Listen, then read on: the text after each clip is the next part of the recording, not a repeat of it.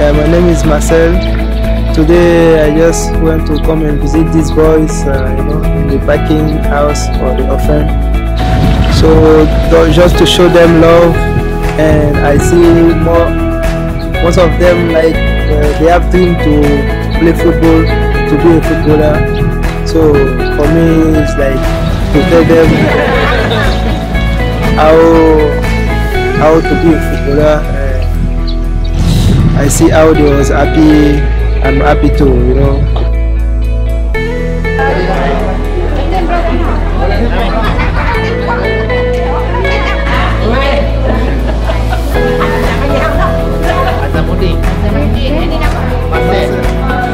They need more love and they need like people like uh, like a footballer to come and be close to them, to talk to them,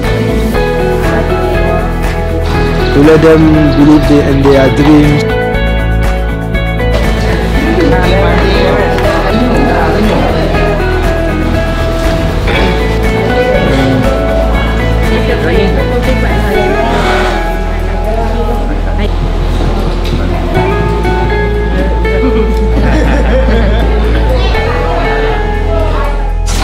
So I really am happy to be with them.